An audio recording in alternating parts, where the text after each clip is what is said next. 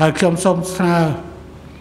ឲ្យមន្ត្រីដែលបានបញ្ចប់ការសិក្សានៅថ្ងៃនេះ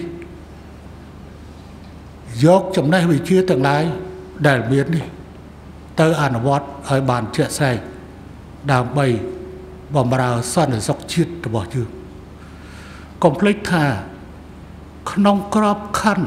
នៃការអឆការជាតិឡើងរបស់ខ្លួនរាជរដ្ឋាភិបាលរដ្ឋាភិបាលរបស់យើង តាំងពីសាធារណរដ្ឋប្រជាមានិតកម្ពុជារដ្ឋកម្ពុជា រហូតមកដល់រាជរដ្ឋាភិបាលយើងចែងចាត់ទុកថា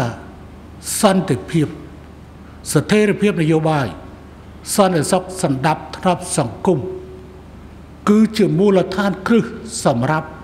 ការអភិវឌ្ឍប្រទេសជាតិរបស់យើង គេមិនអាចមានការអភិវឌ្ឍមួយ ដោយគ្មាន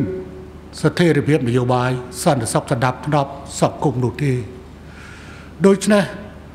តាមរយៈសេនាធិការនៃរាជរដ្ឋាភិបាល គឺសម្ដេច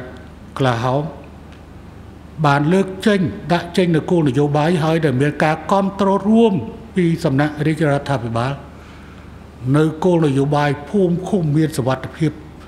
នោះហើយជាគោលដៅ ដែលយើងត្រូវឈ្មោះទៅកាត់ទីនោះចំណុចនេះនៅតែជាចំណុចស្នូលនៃសកម្មភាពបន្តសម្រាប់សន្តិសុខទីក្នុងរបស់យើង